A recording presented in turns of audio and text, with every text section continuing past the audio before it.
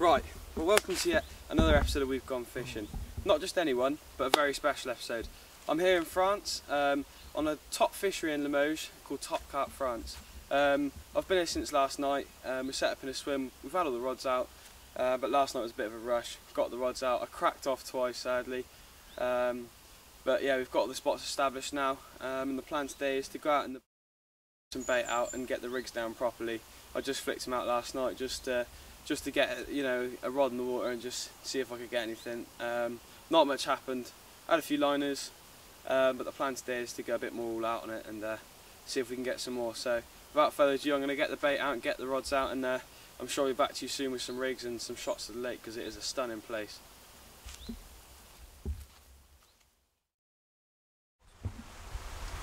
Right, well last night finally resulted in something.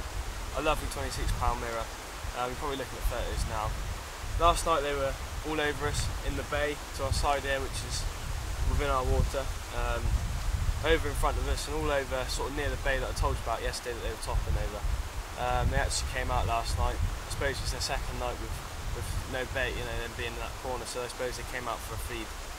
Um, it was nice fish, it's really nice, you know, there's a lot of fish, a lot of movement. Um, I didn't catch anything else. Sadly, there was fish over my spots, but uh, nothing else happened. So I think today I'm slowly learning, getting the gist of things. It's completely different to English fishing. Um, I think today I'm going to put in a bit more bait, sort of two to three key over each spot.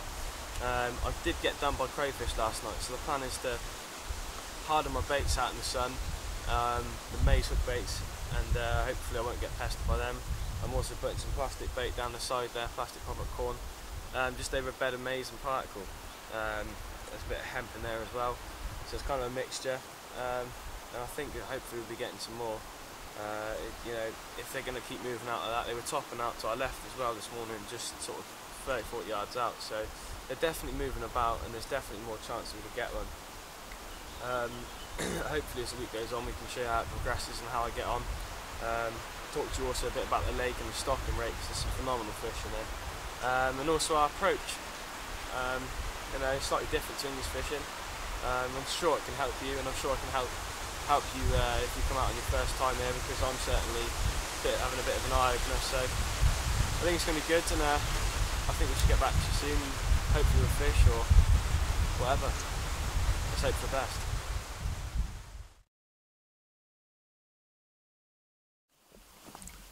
Well, here's my first fish of France trip 2011 and I can't believe it 54 and a half pound PB I can't lift it up anymore yeah.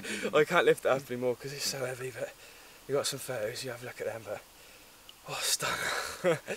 I have to put them down. Go on fishing.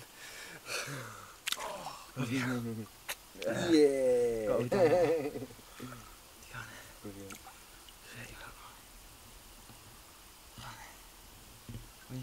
Should we say a Negraloop 50? Yeah, I'm beast. I think he's a happy man this one. Negraloop beast.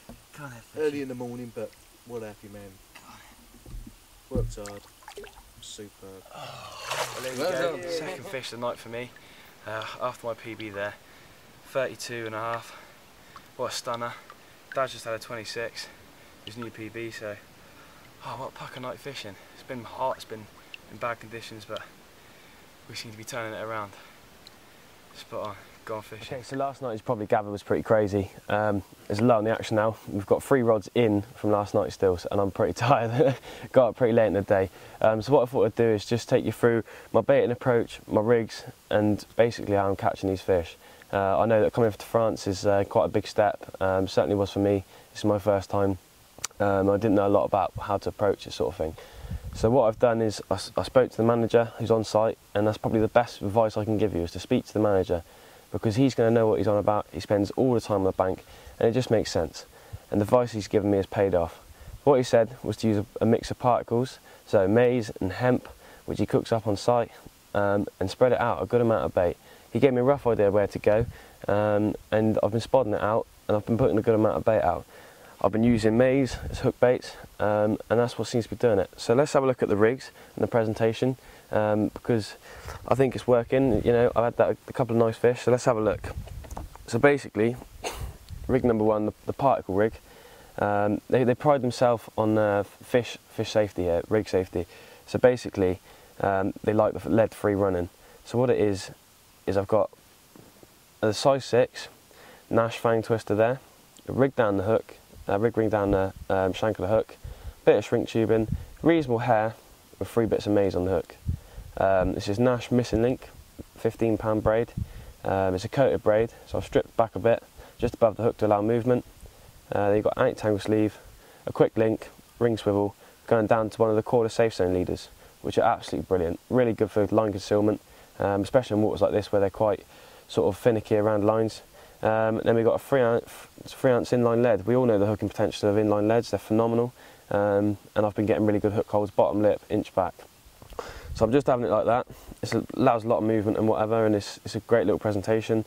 Um, and then that's just running up safe zone leader there. Um, it's got a couple of bits of tungsten putty already moulded into it, so it's a really good, sinks nicely, really supple material, um, perfect for concealing your lines. Um, and all I'm doing then, I'm not putting any bag out with this because I've put sort of three key out over a spot a day or more, and I'm just putting a couple of bits of dissolving PVA foam um, around the hook just to straighten the rig out and get perfect presentation because these rigs are sitting out there for a long period of time. So what we do now is just have a look at the boilie presentation which actually bagged us a fish last night, um, the first fish, and it was actually on the, the mixture of Hinders Crayberry which I've got here, real nice fish mealy boilie, um, 18 mil, quite a big bait, quite a strong bait, um, and also their own uh, their own house bait which is which is kind of a, a fruity smelling flowery bait um, in 15 mil. And the hook that's what I call it on the hook bait um, really nice boilie strong smelling perfect perfect bait um, and obviously they've been fed on it. So there's nothing wrong with using the house bait it's a brilliant bait a lot of people against it they've got their own boilies their own ideas but seriously um, take that into consideration when you come to France use their own baits they've been fed up on it so the rig that we use with that pretty standard for me actually kind of similar to English fishing just stepped up tackle um, yeah, again, we've got the safe zone leader, this time in clay because we're fishing to sort of a clay silty spot. Um, so I wanted a darker colour safe zone leader to blend in. Um, leg clip system, just so that it runs free. Um, and also, you know, if a fish gets snagged up, the leg can drop as well. I've got the tail rubber pushed on quite hard there, but it, it's running off the swivel. And if, if I have a crack off or whatever, the, the leg can run off the, uh, the end of the, the leader.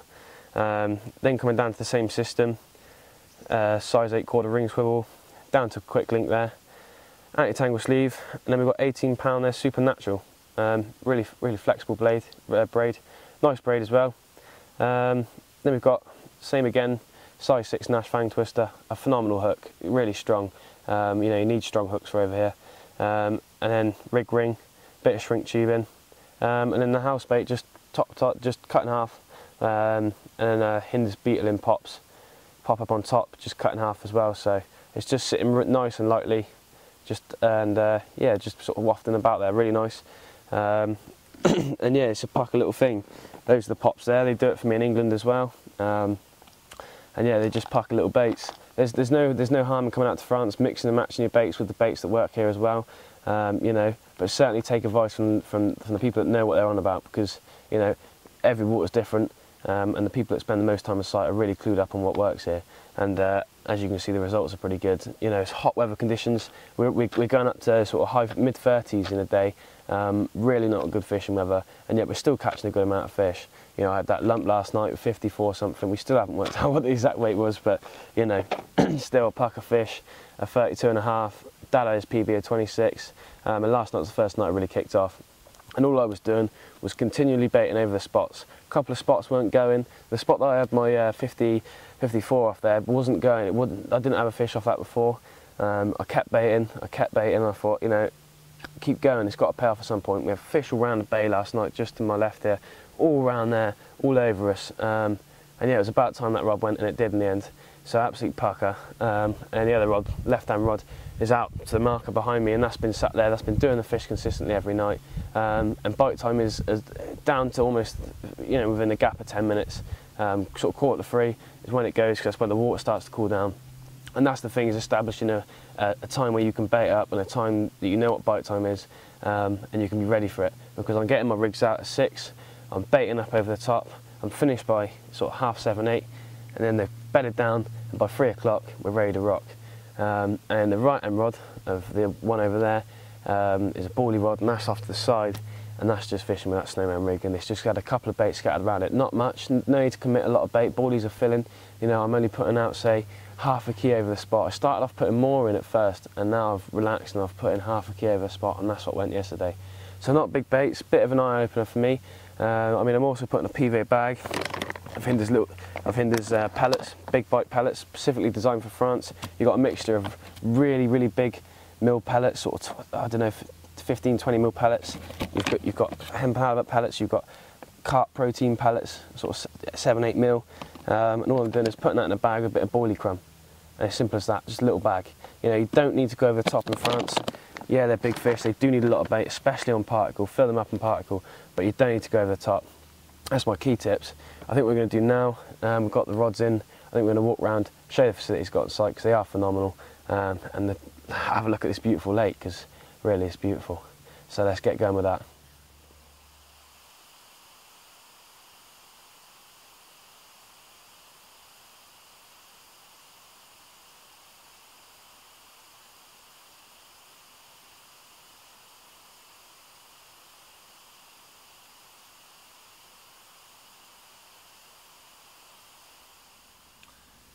So here we are in one of the swims nearer to the lodge, and uh, what I thought I'd do is just talk about the layout because it's quite different to usual lakes.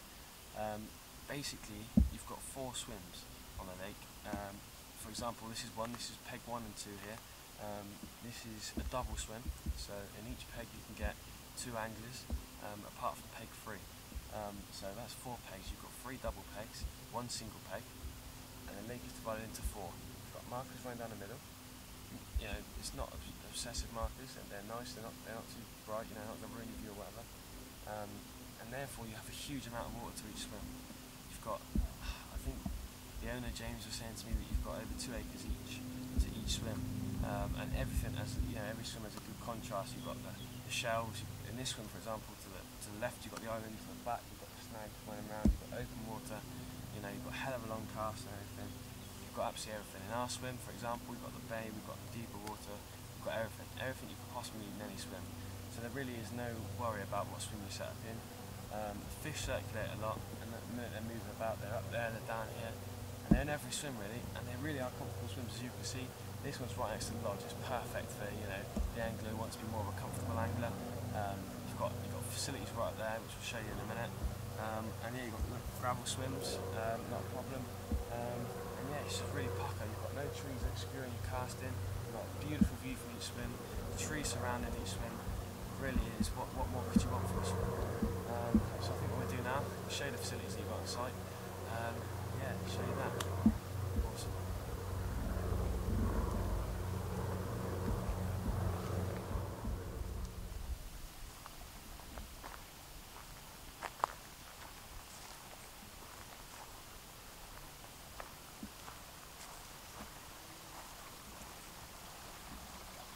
Right, so what I thought I'd do now is the heat of the day. There's a lot on the action. I thought I'd just show you around the, the top facilities they got here at Top Carp France. Um, really everything you need and more for the week. So let's have a look. Follow me around. I'll show you firstly to the showers. Um, this is the main unit where you've got everything, your showers, your toilet.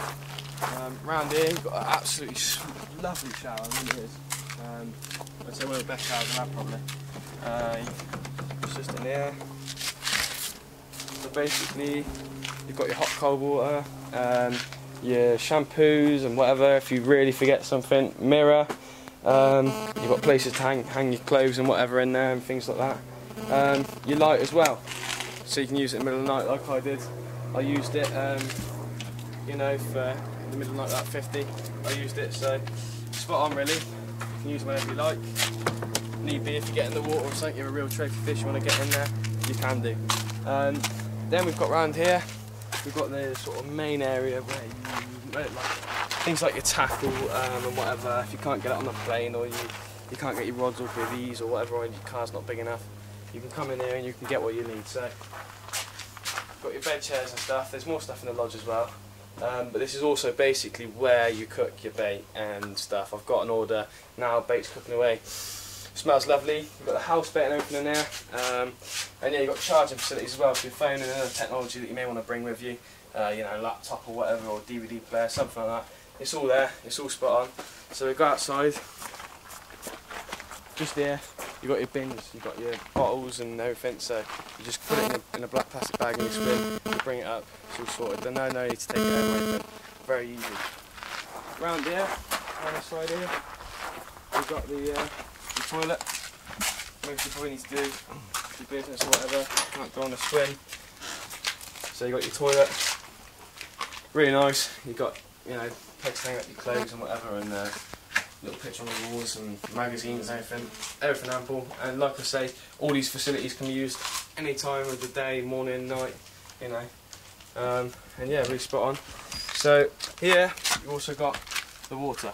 Um, obviously you don't have to go out and buy your water, it's all here. Um, use it as when you want, same as all the others. Nice cold water coming out of there, you know, on tap, perfect. We've just filled up ours. Um, all you need is, is cool, you know, on a hot day like this, you need to keep yourself hydrated. Spot on, it's just a quick nip from my swim up here on the bike, we've got fresh water. So what we're going to do now, there's more facilities in the lodge, we're going to go around there and have a look at the lodge. So let's get in there. This is the lodge. I'm to do is just show facilities that are inside. Um, basically, as you come in here, this is where you come for your main briefing. When you first get here, first day of the week, or whatever, first half day of the week, you come in there and you'll be told about the lake, the systems that it run, you know, how it runs, the fish safety, and all that sort of thing. You sit down on this table, um, you sort out what peg you're fishing, you know, draw it out if there's a couple you want the same peg, things like that. Um, and yeah, that's basically what it is. You've also got um, pictures of big fish up on the wall here. As you can see, you got you got some fish over 30 key here. You know, big fish. Um, you got a couple of 20 keys, 18s. You got you got plenty of big fish to go for. Um, really is. There's a lot of big fish there.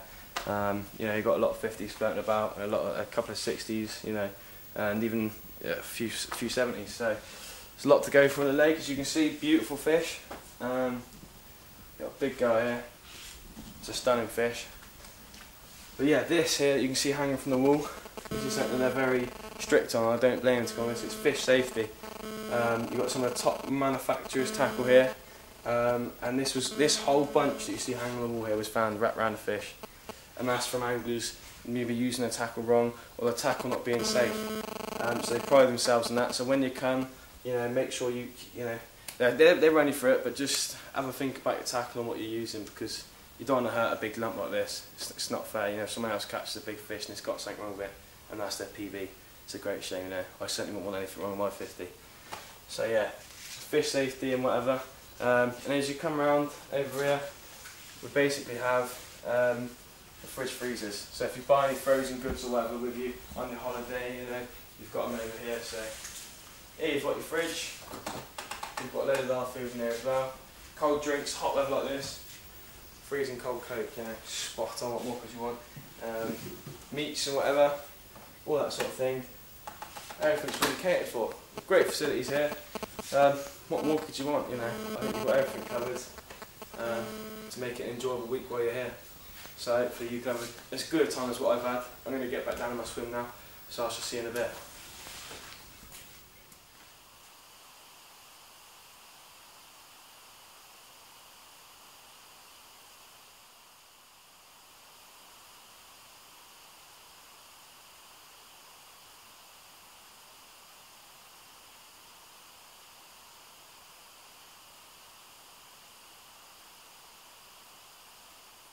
Go. First fish of the, I don't know what night it is, but some night. Uh, coming on to the end of the week now. Um, lovely 24 pound mirror. Uh, just had it off my spot, it's getting on maybe half 11 now. haven't gone to bed yet. Um, lovely, picking fish up before bite time. So, spot on. Hopefully we can uh, have a bigger one, like last night, and uh, see what happens. Spot on. Right, well there we go. It must be early morning now. Getting on 5.36ish. I had this rip and take off on the boilie rod. And what a stunning 37 pound mirror. Blacker. Absolutely knackered. Spot on, let's get her back. Gone fishing.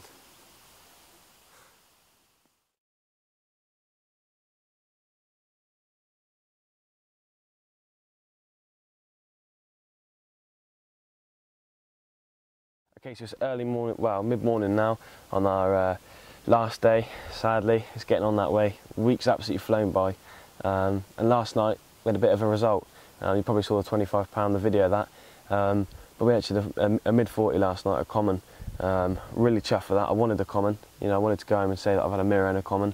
Um, but I didn't expect the common to be so big, so really pleased with that. Um, didn't get the camera out because I didn't want to faff about. Um, the lighting was terrible and we couldn't couldn't get the fish to show up, so a bit of a pain in the ass on that one. But um, the weather changed completely last night. Storms moved in, thunder and lightning and everything. Um, so we reeled the rods in in the end and just thought we'd just leave the fish without a line in the water, um, and that way we don't have to come out in the middle of the night it's thunder and lightning or whatever and, and play a fish in thunder and lightning and get get shocked by lightning. So uh, yeah, we brought them in, um, and we also had some heavy rain last night. Um, really was quite heavy. Um, the ground's still dry, but I think that's what we needed was a bit of rain. Um, maybe tonight it kicks off. It's cooler today, even though it seems just as hot. It is cooler. It's only probably mid to high 20s. Um, so it's a, big contrast compared to yesterday where it was mid 30s. It was really hot yesterday. Um, so maybe we can get a bite in a day. Uh, it's, it's, just been a bit picky on when they're feeding. Um, but yeah, hopefully we can get a bite in a day. It would be nice to think so. Um, and maybe show you a fish in, in proper light because they are stunners.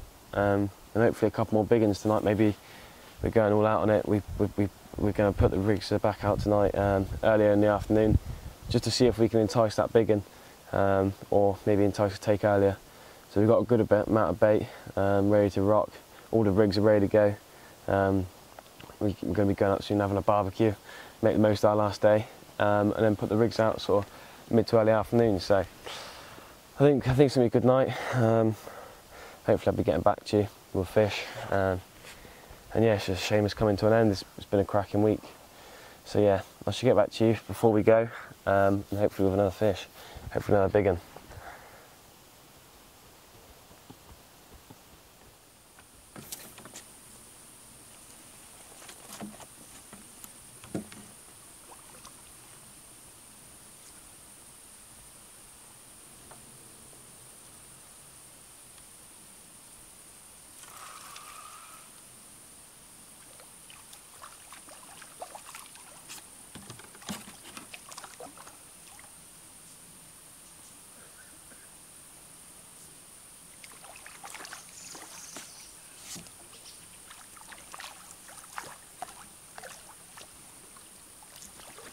Here we go.